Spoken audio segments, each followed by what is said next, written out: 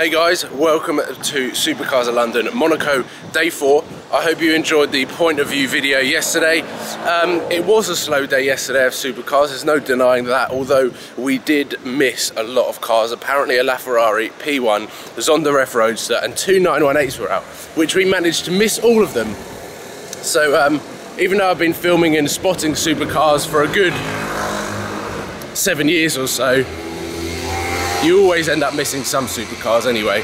So we're heading down to the main casino square now. I'm by myself. I uh, left Dimmy at the last Bugatti that he found. And um, so far, there's uh, nothing gone according to plan. My alarm was set for 9.30 a.m. this morning, which uh, was an early start. And I didn't finish editing until 4 a.m this morning. So I had about five and a half hours sleep until my alarm went off. My alarm went off, snoozed it, snoozed it again, and then now it's quarter past 12 and I've just left the uh, hotel. So you can imagine how the morning went. A lot of sleep, a lot of catching up to do, and uh, I'm in the middle of the road. Not gonna get run over, but um, yeah, let's hope that our last, last, why do I keep saying last? Last full day in Monaco is a good one. So we're going to head to the casino square now and uh, try and capture whatever we can on film. And there looks to be a really, really dirty 430 Spider. 430 coupe. Really dirty. SLS. Another SLS. Maserati. Another Maserati.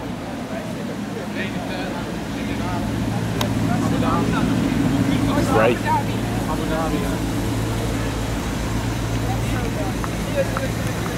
And a Ferrari in really good condition.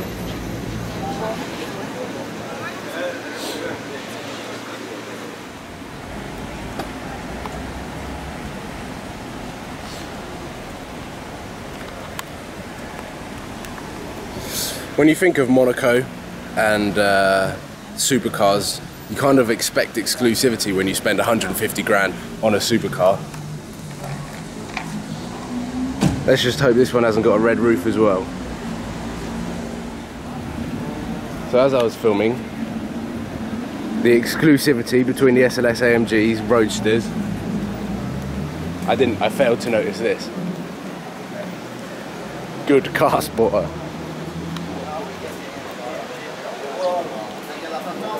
An SLR McLaren Roadster. Bet these feel pretty stupid now.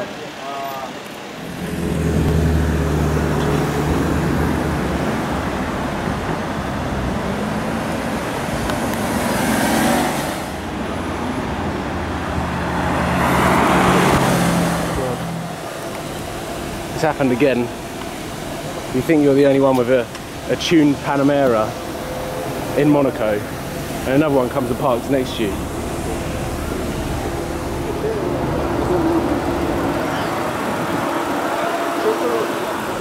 Time to use a technical. Cool. Using the technique I had earlier, there's definitely a LaFerrari 918 and uh, P1 and hypercar meet outside of Monaco. Anyone around? Anything want to come? Anything? No Porsches.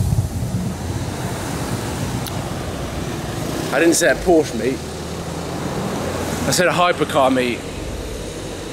So far it's been 458s, 12Cs, no, a 12C. Not much else.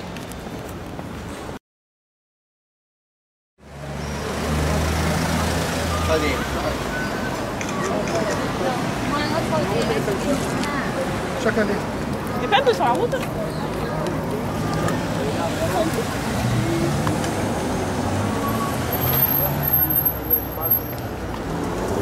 Ah, zoomed in.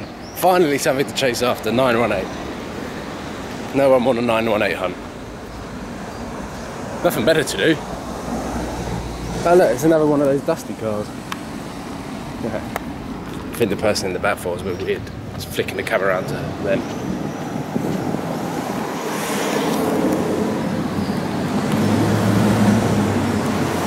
GLA.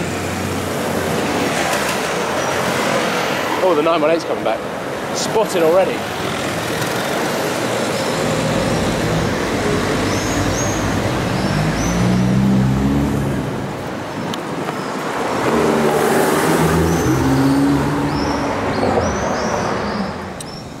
That hunt ended quickly. Finished.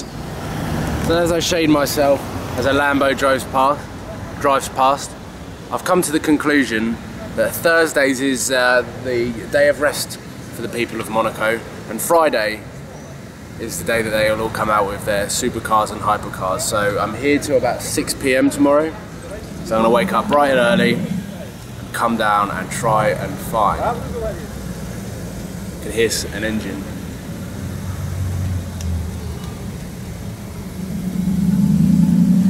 Got nearly a full day of spotting. Well, a full day, and then I leave in the evening. So let's hope that I'm right with my theory. My point of view in Monaco. So bored. Hot dogs or legs? You be the judge. As you can see.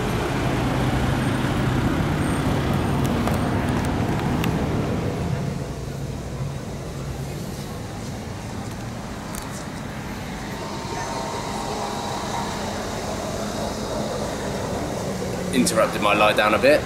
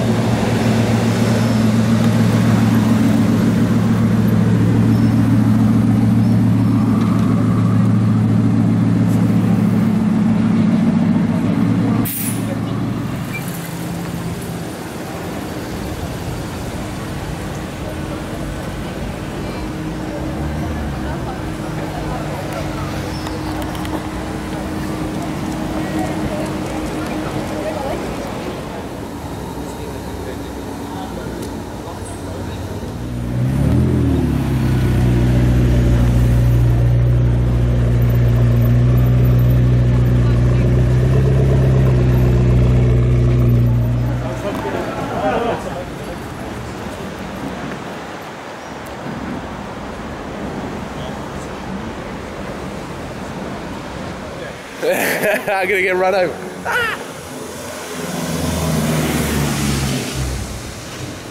Here we go, 9 p.m. Final night in Monaco with the Pirata Della Strada tour. Yes, nice little wrist thing, whatever Dimmy's doing. Um, we still need to test the Magic T-shirt out as well. And our checkout's at 2 p.m. and then I've got to get a bus back to the airport at around half past six, I think. My flight's at half nine. So tonight is the last night, Thursday evening. Let's see what Monaco has to offer. Because at some points during the day today and yesterday and the day before, there were some quiet spots. So, um, although looking at my uh, watch, we're about 36, 48 hours away from getting back in my car, which I think I'm more excited about than the last night of Monaco, unless we see a LaFerrari and a Zonda F. But we've already seen one, haven't we? Well, I've seen a Zon- I've seen a LaFerrari. Have you seen a on there? Huh? Have you seen a on there? I haven't seen a Zonda F. No, I thought Have you seen two 918s today? Yes. No, you haven't. No shit. Oh, the Zoom is it working? No, touch the. Oh, here we go. It's coming. It's coming. Done. Yesterday, in the point of view, we had. Uh, I'm not sure whether I put it in the point of view because it was so dark, but we had Lambo, two Lambos, an R8, a Maserati, and a Speciale. But today we've got a Bentley and a 458 and an A45, which isn't too bad. But this is Buddha Bar, and yes, there's something chrome and a tripod in front of it. Jesus. Another favourite. Another Veyron. Dimmy would be happy. Yes. And an SL Black.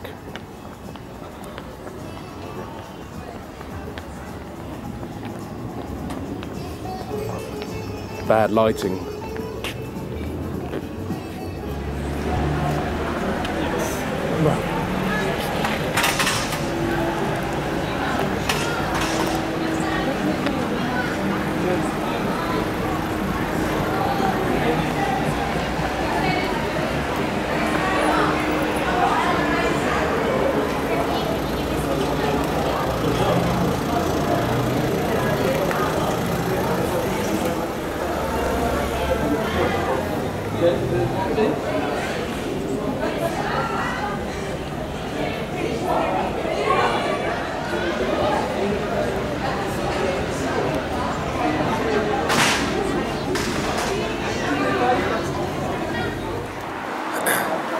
We're going for a midnight stroll.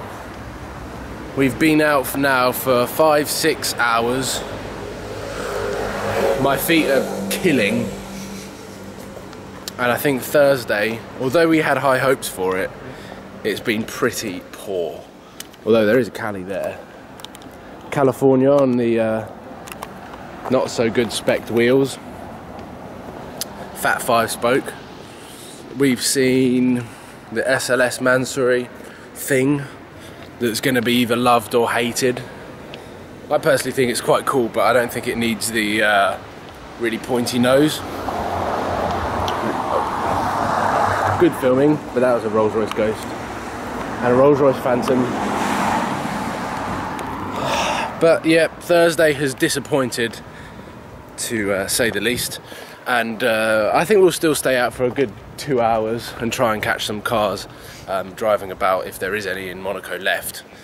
And um, then it's going to be up early to check out of our hotel um, and to get spotting and try and catch. That's nice. I like that.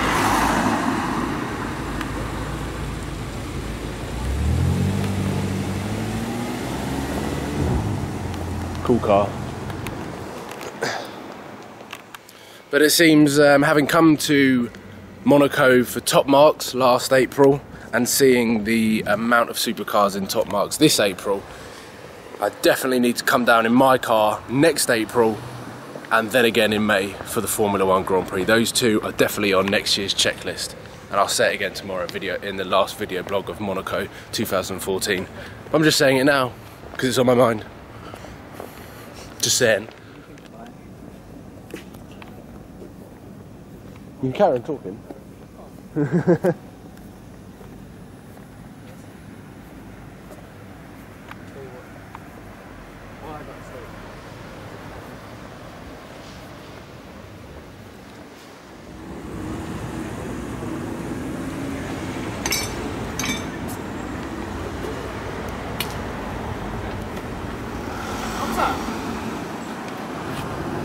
Uh,